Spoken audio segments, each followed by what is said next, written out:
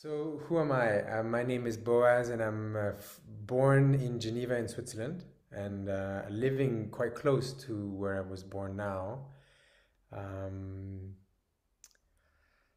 I am uh, uh, an in- intractable introvert, meaning that um, I, I really spend a lot of time internally. I spend a lot of time in meditation. I spend a lot of time um, I'm not exactly sure where I'm going or what I'm looking for, um, but there's something that feels really a powerful move to um, to enrich and to brighten um, the different things that come through me.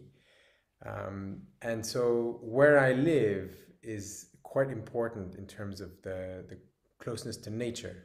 Um, so, right now, I'm, I'm very close to the Jura in in Switzerland, and uh, we have a view on on the mountains there, and uh, that feels like a really important part of how how I can support myself to then engage in a way that feels helpful, skillful, and wise. Um, that took me a long time to figure that out. That I, it's really important to know where I am and how I can um, how I can support myself, what my needs are to be able to then act. Mm. And um, in terms of uh, what I do then in the world, um, I'm trained as a, a, psychologist, a clinician, and I work I work with individuals, mostly with groups, and actually more and more with communities. Mm. And the idea is to help develop, engineer, and design psychosocial approaches to build resilience, build emotion regulation, build social mechanisms of regulation also. Um, so, you know, we think a lot about how to improve one's mental health and reduce anxiety and depression and such. And obviously, all that is very important.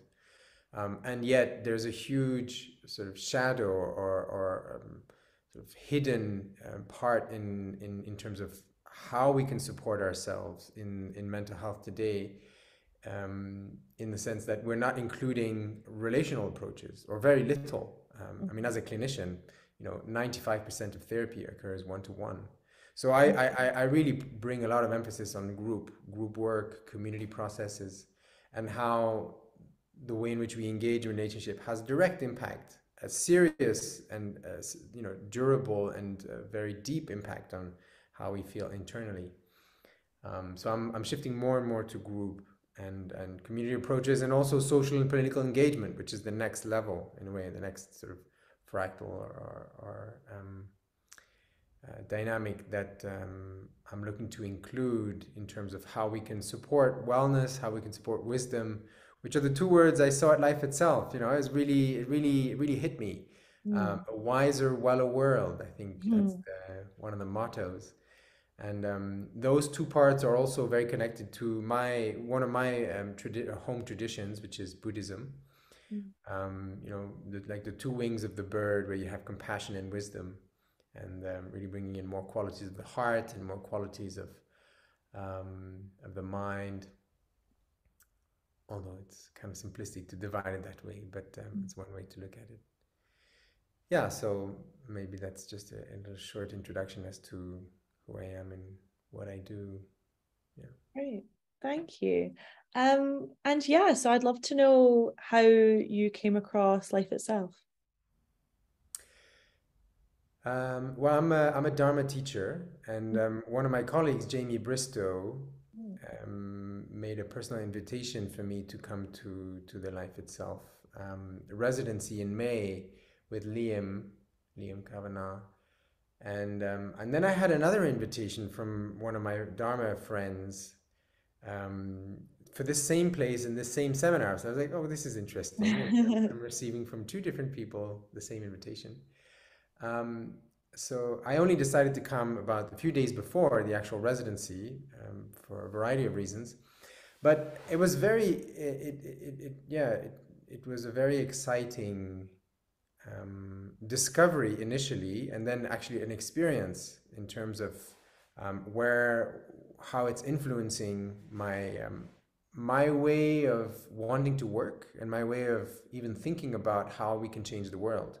Um, so there's quite a number of things in those two things, but just to say briefly, um, I've done a lot of meditation retreats. Um, I've done a few years of silence um, in hermitages and meditation centers. I was a Buddhist monk in Asia. And um, the notion of a residency, the notion of, a, of being in a place and co living with other people um, felt very resonant immediately. Um, and then there's the part about workshops, the part about structured educational programs, about um, developing specific specific qualities like an intentionality that's you know quite strong in that residency. That felt really good.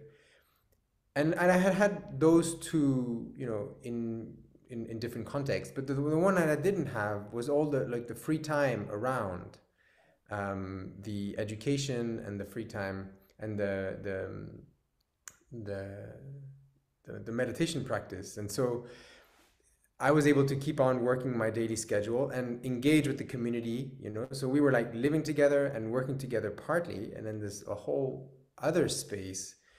And I realized when I spent, you know, two weeks there, I was like, well, actually, that kind of feels good to live like this. It feels good to live with other people um, who have, you know, a, a certain sense of in, interest in I don't know if we can call it transcendence or sacredness or some kind of pull towards um, really living very meaningfully, very intentionally. Um, and that doesn't have to fit into the box of meditation or even Buddhism, but you know, actually perhaps through the arts or through poetry or through singing or dancing or music or um, intellect, acad- academia.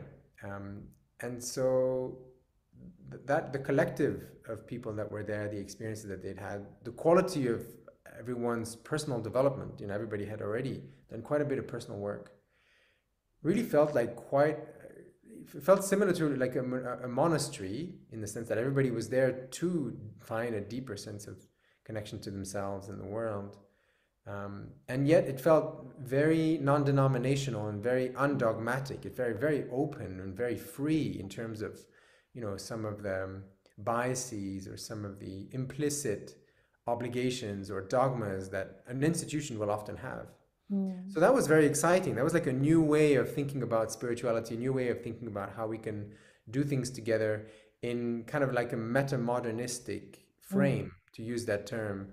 Just um, uh, briefly, for, for me, what what that resonates is that in a way we're we're we're able to nourish and support um, a sense of a meaningful life and and um, and powerful engagement in the world in relationship to all of the different traditions and ways of looking that our heritage, our evolution has brought, uh, has, has all the evolution that has come to pass. So, you know, the, the very early um, belief systems and, and ways of thinking about and viewing the world um, in animism, and then like the actual revolution, and then the more modern paradigms and postmodern thinking and all of these are like if you go if i go to a, a monastic setting in buddhism you know it's, it's going to have maybe like one of those strong strongly mm-hmm. anchored but there it felt like there were many of them that we could juxtapose and interact with and actually i felt like i i could have more parts of my of my psyche and my interests um, in, included in a space like that because it was it felt so dynamic then